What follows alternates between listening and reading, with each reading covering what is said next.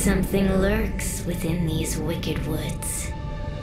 Past roots run deep, entangled with what remains of your forgotten gods. Tell me, sisters, what moves both dead and depths alike?